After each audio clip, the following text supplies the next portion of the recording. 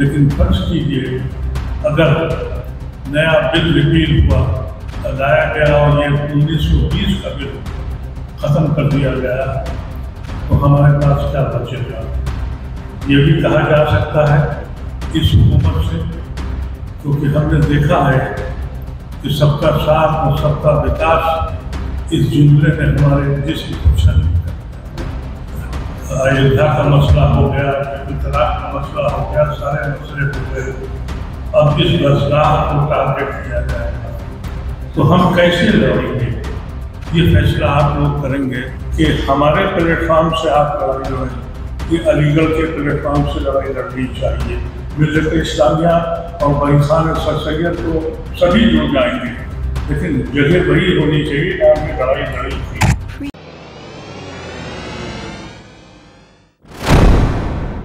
تھی موجود حاضرین۔ آج ہم لوگوں نے آپ لوگوں کو صرف اس لیے مدعو کیا ہے کہ اس ملک میں جو کچھ ہو رہا ہے، وہ تو ہم سب دیکھ رہے ہیں۔ لیکن ایک ایسی خبر اڑی ہے یا ایسی خبر چلی ہے کہ علی گڑھ مسلم یونیورسٹی کی درسگاہ کو پھر سے ٹارگیٹ کیا جا رہا ہے۔ ہم لوگوں کا ہم نے کوشش کری اور ہمارے ساتھیوں نے کہ اصل مدعا کیا ہے۔ کچھ لوگوں نے کہا کہ تفصیل تو یہ لوگ بیان کریں گے، لیکن کچھ لوگوں کو کہنا یہ تھا کہ علی گڑھ کا جو امنڈمنٹ کیا گیا تھا تیرہ اکیاسی میں، اس کو چار سال پہلے ریپیل کر دیا گیا۔ اور اس پہ ہمارے کچھ ساتھیوں نے یہ کہا کہ فرق نہیں پڑے گا۔ تشویش اس بات کی شروع ہوئی کہ وہاں پچھلے چار سال پہلے اس ایکٹ کو جس کے لیے ہم لوگوں نے لڑائیاں لڑی تھی، میری خود زندگی کے کئی سال اس لڑائی میں گئے، میرے کئی ساتھی اس دنیا سے رخصت ہو گئے۔ میں نے بھی سب سے پہلے اپنے جیل کا سفر اسی علی گڑھ یونیورسٹی ایکٹ کے تحت شروع کیا۔ تھا اس وقت میرے بزرگوں میں ڈاکٹر قریبی تھے، شفیق الرحمان ایڈوکیٹ تھے، اشتیاق قریشی صاحب تھے، ظفر احمد صدیقی تھے اور کم نہیں تھے، یہ سب چلے گئے۔ اب میں جب اپنے کو دیکھتا ہوں تو اس میں آخری شخص جی نانی وہ بھی پچھلے مہینے، چند دن پہلے وہ بھی رخصت ہو گئے مجھے بات کی پیدا ہوئی کہ آج ہندوستان میں نہیں، بلکہ دنیا میں بھی اگر ہماری کہیں بھی کوئی پھول اور شناخت بچی ہے، تو اس درسگاہ کی دین تھی اس درسگاہ کے اوپر اتنا بڑا شکنجہ ناپا جا رہا ہے۔ اور ہم بے حسی کی چادر اوڑے ہوئے ابھی بھی بیٹھے ہیں۔ کوشش کی تھی کہ ہم سب لوگ بیٹھیں اور سوچیں کہ ہمارا مستقبل کیا ہوگا؟ یہ سوچنا چاہیے کہ جن لوگوں نے انیس سو تیئیس میں ایک فیصلہ کیا تھا کہ یہ ملک دو ہزار تیئیس میں کیسا ہوگا، وہ تو اپنے کامیاب ہو گئے۔ ہم سے کہا جاتا ہے کہ ابھی بیٹھے رہو۔ کچھ لوگوں کے ویڈیو آئے جو بہت لائق لوگ ہیں، ہمارے قریبی ہیں۔ انہوں نے کہا کہ ابھی کچھ بولیے نہیں، لیکن ہوا یہ کہ کمیٹی بنی۔ اور ہندوستان کی جو ایجوکیشن منسٹری ہے، اس نے تین یونیورسٹیوں کو یہ لکھ کے بھیجا کہ جو یونیورسٹی جو برٹش ٹائم میں انکارپوریٹ ہوئی تھی، ان کو ہم نئے بل سے لائیں گے اور ان کو ریپیل کریں گے۔ اس میں دہلی یونیورسٹی نے حامی بھر لی اور کہا کہ آپ نیا بل لے آئیے۔ ہم پارلیمنٹ کے ایکٹ کے تحت کام کرتے ہیں علی گڑھ یونیورسٹی کی جو کاروائی ہے ہمارا جو ہائیسٹ گورننگ باڈی ہے، وہ ہماری کورٹ ہے۔ لیکن بنارس ہندو یونیورسٹی نے بھی قیمہ دی ہے۔ لیکن فرض کیجیے، اگر نیا بل ریپیل ہوا لایا گیا اور یہ انیس سو بیس کا بل ختم کر دیا گیا، تو ہمارے پاس کیا بچے گا؟ یہ بھی کہا جا سکتا ہے اس حکومت سے، کیونکہ ہم نے دیکھا ہے کہ سب کا ساتھ اور سب کا وکاس اس جملے نے ہمارے جسم کو چھن کر دیا۔ ہمیں سب کچھ معلوم ہے کہ ہمارے ساتھ اس جملے نے کیا کیا کیا ہے۔ آج علی گڑھ میں ایک یونیورسٹی ایک اور قائم کی گئی مہندر پرتاپ کے نام سے۔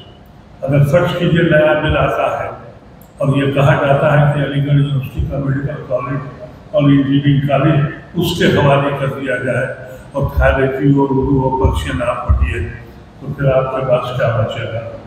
میری جو توقع یہ تھی کہ میری رجتا کے لوگ، میں نے کچھ کرسیاں فاضل رکھوائی تھی، یہ سوچ کے کہ جو میرے سینے میں درد ہے، وہ شاید علی گڑھ کے والوں کے دل میں درد ہو۔ لیکن مجھے یہ لگا کہ وہاں فکر یہ ہے کہ دوسرے اداروں میں الیکشن ہو رہا ہے، کہیں کچھ ہو رہا ہے جو اس میں غلط ہے میرا مقصد سیاست کرنے کا یا اس تنظیم کا مقصد سیاست کرنے کا نہیں تھا اور نہ ہے۔ ہم نے صرف یہ کوشش کی تھی کہ ہم ایک پلیٹ فارم اور اس پلیٹ فارم پر آپ سب لوگ جمع ہوں اور طے کریں کہ اس ملک میں ہم کیسے رہیں گے۔ یہ ملک ہمیں کیسے رہنے دے گا؟ اس آئی ایم سی آر کا وجود بھی اسی لیے بنا تھا کہ جو دانشور حضرات ہیں وہ آگے آئے وہ یہ خاکہ طے کریں کہ اس میں ہمارے بچے کیسے رہیں۔ گے لیکن اسی کے تحت یہ کوشش کی گئی تھی۔ میں تو دعوت نامہ ہم نے الہ آباد بھی بھیجا تھا وہاں کے وکلام کو اور پھر لکھنؤ یونیورسٹی کی، لکھنؤ کی اولڈ بوائے ایسوسیشن کو بھی دعوت نامہ بھیجا تھا۔ اور یہاں دہلی کے اولڈ بوائے ایسوسیشن کو بھی دعوت نامہ بھیجا تھا کہ آپ کی ذمہ داری بنتی ہے کہ اس دستگاہ سے جو بھی نکلا ہے اس کا رویا رویا اس کا کا قلب ہے اس کے اوپر۔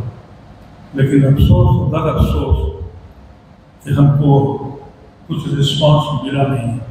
لیکن میں یہ چاہوں گا کہ ہمارے بہت سے ذمہ دار لوگ بیٹھے ہوئے ہیں، ہمارے علی گڑھ سے وہاں کے پریزیڈنٹ آئے ہوئے اسٹاف ایسوسیشن کے۔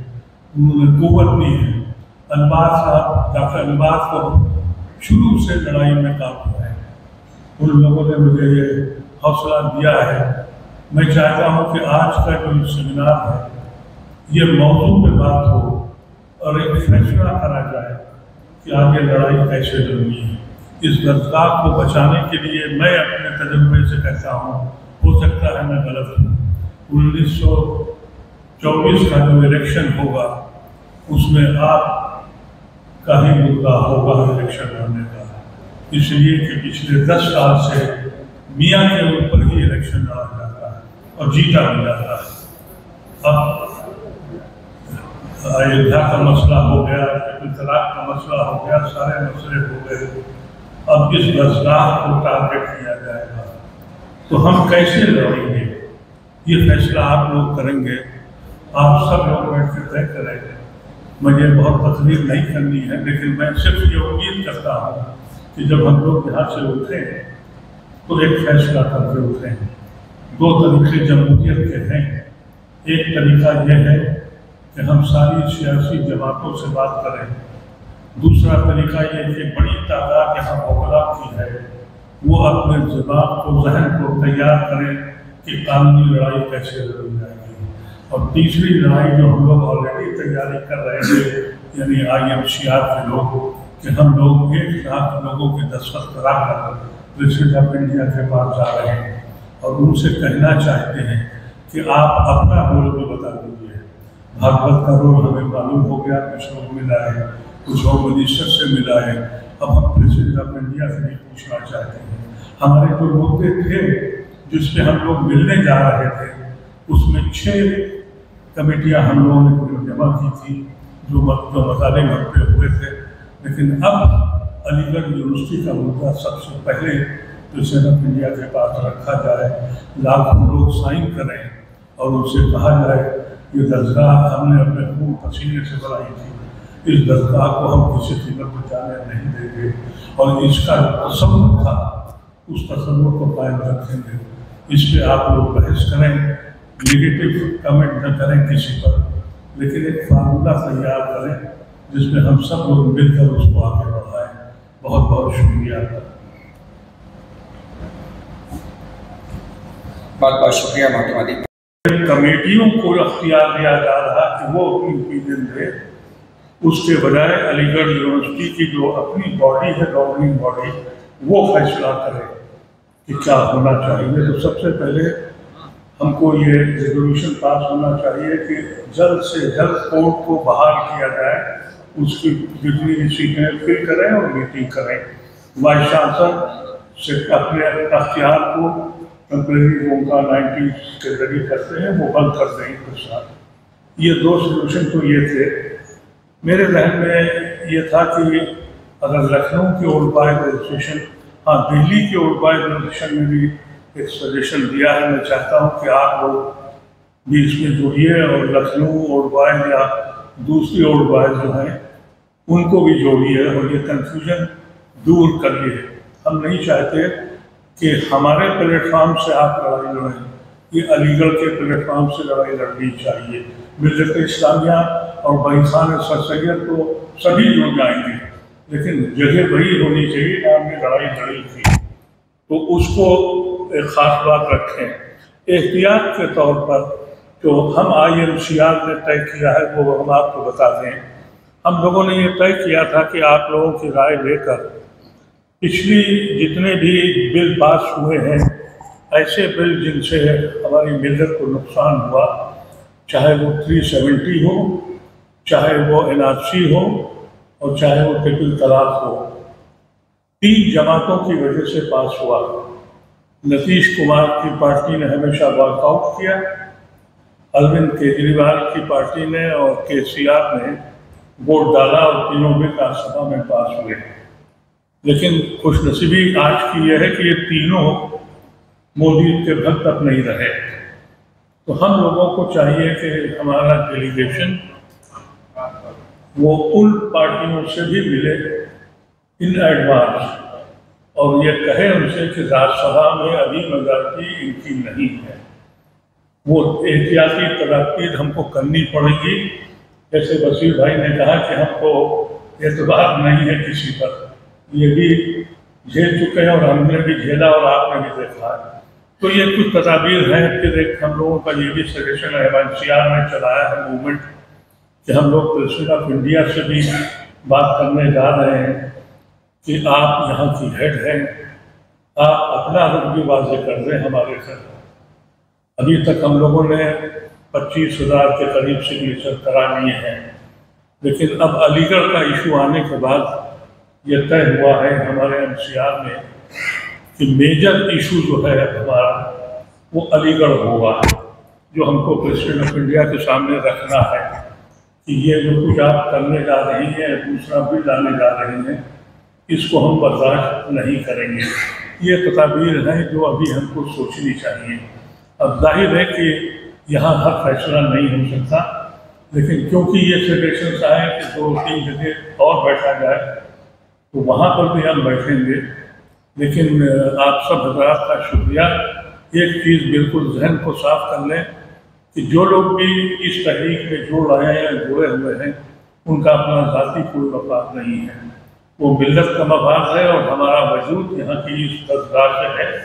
ہم اس کو چھوڑیں گے نہیں۔ لیکن احتیاطی طور پر ہم کو ساری پریکاشنس پہلے سے لے لینی ہے کیونکہ کسی کو نہیں معلوم تھا کہ تھری سیونٹی ایک دم سے آئے گا اور پاس ہو جائے گا۔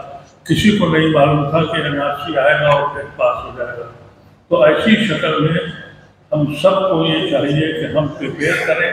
جو ہمارے وکیل رہیں کہیں وکیل ہیں، جن کے پاس بہترین دماغ ہے، وہ لوگ اپنا کاروائی بھی تیار کریں کہ کورٹ میں جانا ہے تو کیسے جانا ہوگا؟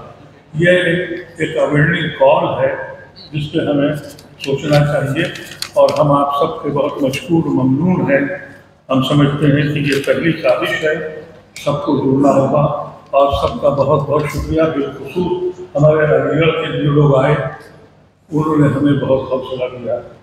ہم علی گڑھ کے ٹیچنگ اسٹاف سے ہمارے دوست خالد یہ سب نوجوان بچے یہ آئے ہیں، یہ بھی اب سینئر ہو گئے ہیں۔ لیکن ان لوگوں سے مجھے امید کرتی رہی ہے کہ ہم سب لوگ غافل نہیں رہیں گے۔ بہت بہت شکریہ حضرت